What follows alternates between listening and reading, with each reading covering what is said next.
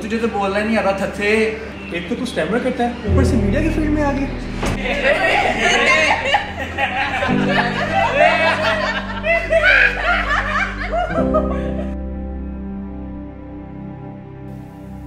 Camera ready character ready जी मैं ready हूँ। मेरा नाम अहमद इमरान है और मुझे स्टैमरिंग का इशू है। मुझ समेत आप में से बहुत से लोगों के लिए बोलना बड़ी बात नहीं लेकिन कुछ लोगों को अल्फाज अपने दिमाग से ज़ुबान पर लाने में बहुत मेहनत दरकार होती है। अच्छा बोलने में मुझे तकरीबन सात आठ साल से मसला हो रहा है। स्टैमरिंग यानी हकलाहट एक ऐसी सूरत है जिसमें लोग रवानगी से बोलने से कासिर हैं। लगभग तीन फ़ीसद लोग दुनिया में ऐसे हैं जो हकलाहट के बायस रवानगी में बोलने से कासिर हैं। और जब ये मुझे मसला स्टार्ट हुआ था और जब बोलते हुए होता था तो जो लोग होते थे सुनने वाले वो शायद ये समझते थे कि और मुझे कहते भी थे कि शायद कि तुम जान पूछ के इस तरह।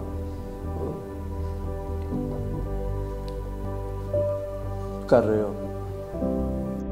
हकलाहट ना सिर्फ़ गुफ्तगू बल्कि रोज़मर्रा के मामला और प्रोफेशनल और एकेडमिक लाइफ में भी रुकावट का बायस बनती है। अच्छा मैं मैथ्स कम्युनिकेशन का स्टूडेंट हूँ। और ये एक ऐसी फ़ील्ड है जिसमें आपको ज़्यादा जिसमें आपने बोलना होता है। और मुझे इसमें, और मैंने इस फ़ील्ड में काफ़ी चैलेंजेस मैंने फेस किए। और और नाम मोस्टली तब जब पूरी पूरी क्लास के सामने आगे जब मैंने बोलना होता था, तब मुझे काफ़ी काफ़ी काफ़ी पॉजेज यानी कि बीच में आ जाते थे। और काफ़ी बच्चे थे जो इस चीज़ का मज़ाक बना लेते थे। लोग स्किलफुल होने के बावजूद हकलाहट की वजह से लो सेल्फ स्टीम का शिकार हो जाते हैं, जिसके बायस वो पब्लिक स्पीकिंग से डरते हैं और खामोशी इख्तियार कर लेते हैं। अच्छा उस टाइम फिर मेरा सेल्फ़ कॉन्फिडेंस इतना ख़राब हो जाता है और जहन में मेरे इतने, इतनी चीज़ें होती हैं कि मैं बोलूँ या जो मैं बोलना चाहता हूँ, वो फिर मुझसे या तो कभी बोली नहीं जाती और या फिर मैं कभी ये सोच के नहीं बोलता कि यार मैं अगर बोल दूँगा तो कहीं सारे मेरा मज़ाक ना उड़ाएँ। मेडिकल रिसर्च के मुताबिक हकलाहट का मसला लड़कियों की नस्बत लड़कों में चार फ़ीसद ज़्यादा होता है। अच्छा मैं काफ़ी डॉक्टर्स के पास भी यानी कि जा चुका हूँ। और डॉक्टर्स ने भी यहाँ तो मुझे ज़्यादातर ने तो कहा कि आप मेडिसिन्स खाएँ ये करें वो करें। लेकिन उससे भी आज तक कोई ख़ास फ़र्क नहीं पड़ा। हकलाहट के बायस जिन लोगों का मज़ाक उड़ाया जाता है, वो अक्सर डिप्रेशन एनजाइटी या सेल्फ इस्टीम जैसी बीमारियों का शिकार हो जाते हैं। क्योंकि उनको लगता है कि शायद वो लोगों को फेस नहीं कर सकते, उनके सामने बातचीत नहीं कर सकते। लोग उनका मज़ाक उड़ा के उनके कॉन्फिडेंस को लो कर देते हैं। अच्छा पहले ये बात ना मैं काफ़ी दिल पर ले जाता होता था जब कोई मेरा मज़ाक उड़ाता था, ठीक है? और इस्पेशली मैं जब बैठा होता था खुद और जब मेरे पास कोई मतलब होता नहीं था। तो मैं काफ़ी सैड हो जाता था ये सोच के और स्पेशली जब मैंने मैथ्स चूज़ किया, ठीक है तो लोगों ने मुझे काफ़ी कहा कि एक तेरा ये मसला होने के बावजूद तो इस फ़ील्ड में मतलब आ गया जहाँ पे 80 परसेंट बोलना पड़ता है, ठीक है। और फिर मुझे मेरे एक दोस्त ने मोटिवेट किया कि तू इसको अपनी स्ट्रेंथ बना वीकनेस ना बना, ठीक है। और फिर मैंने उसकी ये वाली बात जो थी ना, जो उसने मुझे ये की थी, वो फिर मैंने अपने जहन में बिठा ली। देखिए, जब भी आप किसी चीज़ को अपनी वीकनेस बना लेते हैं तो आप उससे ओवरकम नहीं कर पाते। तो मैंने सिर्फ़ इसको दो बातें कही। मैंने कहा, देख अहमद, एक तो तूने तेरा जो स्टैमरिंग का इशू है, इसको अपनी वीकनेस कभी नहीं बनाना, ठीक है? इसको अपनी स्ट्रेंथ बनाना हमेशा। दूसरी बात मैंने इसको ये कही थी, मैंने कहा, जब अल्लाह एक दरवाज़ा बंद करता है तो सौ दरवाजे और खोल देता है। अच्छा और फिर मेरे दोस्त की बात मेरे दिल में बैठ गई, और उसके बाद मैंने अपने इस मसले को कभी अपनी वीकनेस नहीं समझा। और फिर मैंने इसको चेंज करना स्टार्ट किया, और दूसरी तरफ़ मैंने अपने अपने अंदर सिंगिंग और रैप के हुनर को भी ढूंढा।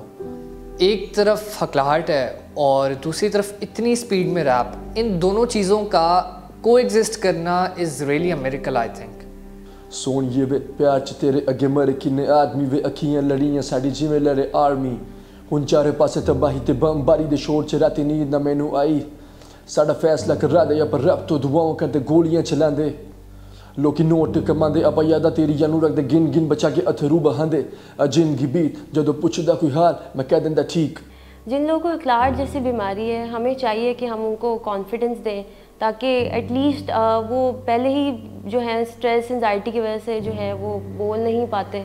तो वो और जब आप उनको प्रेशराइज करते हैं तो वो बिल्कुल ही जो है वो खामोश हो जाते हैं। तो उनको कॉन्फिडेंस दें करेज दें, ताकि ये है कि वो अपनी बात का जो है वो इजहार भी कर सकें और जो उनमें टैलेंट है, उसको एक्सपोज भी कर सकें। अच्छा मुझे बचपन से सिंगिंग का काफ़ी शौक़ था। पहले मैं नाते नाते वगैरह मतलब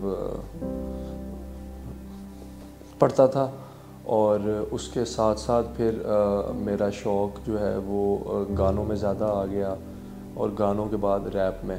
कॉलेज लाइफ की बात है। I was the head boy of my college तो मेरे ऊपर एक ड्यूटी थी कि मैंने एक इवेंट ऑर्गेनाइज करवाना है बेसिकली एक कंसर्ट तो मेरे जहन में इसका नाम था कि इसको लड़के को गाने का भी शौक़ है और दूसरी तरफ़ जो है मुझे ये था कि जो इसकी वीकनेस है मैंने इसको इसकी स्ट्रेंथ बनाना तो मैंने जो था, इसका एज अ सिंगर या आप कह लें एज अ रैप स्टार मैंने इसका नाम दे दिया और इसको एज एन इंट्रोड्यूस करवा के मैंने स्टेज पर परफॉर्म करा दिया। और उसके बाद लड़का नहीं रुका।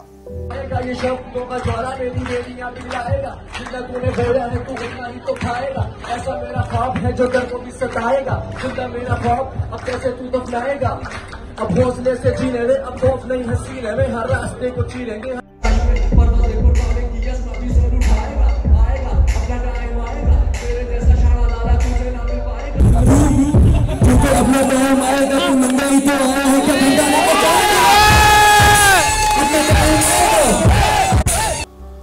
बस इंसान को ज़िंदगी में एक पुश मिलना चाहिए और उसके बाद मेरा ऐसा कॉन्फिडेंस बिल्टअप हुआ कि अब ये चीज़ मेरी स्ट्रेंथ बन चुकी है।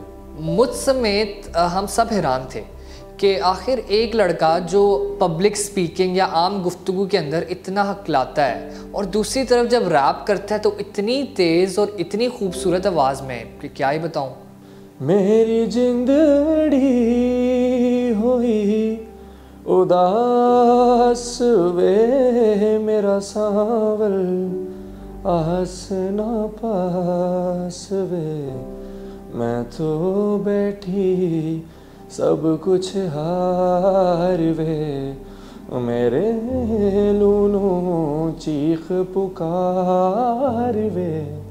ओ कदिया मिल सावल यार वे।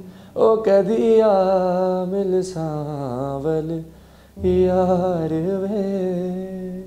इवन मैं हैरान थी कि एक बच्चा जो ग्रुप ऑफ़ फ्रेंड्स के सामने नहीं बोल पा रहा लेकिन एक ऑडियंस के सामने वो इजीली गाना गा रहा है तो ये एक मेरे से कम नहीं है। अच्छा मैं लिख भी लेता हूँ कभी कभी वरना ज़्यादातर दूसरे गाने मतलब यानी कि गा लेता हूँ।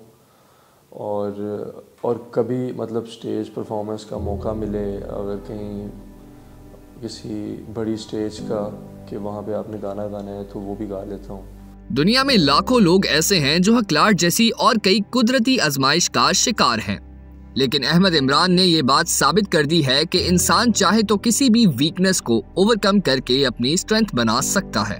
अच्छा मैंने अपनी ज़िंदगी से ना एक चीज़ सीखी है कि कभी भी गिव अप नहीं करना चाहिए और उम्मीद कायम रखनी चाहिए बस। रास्ते को चीरेंगे हर कामयाबी छीनेंगे, सब कुछ मिला पसीने से मतलब भरा अब जीने में क्यों? क्योंकि अपना टाइम आएगा तो नंगा ही तो आया है, क्या घंटा लेकर जाएगा? अपना टाइम आएगा, अपना टाइम आएगा, अपना टाइम आएगा तो नंगा ही तो आया है, क्या घंटा लेकर जाएगा?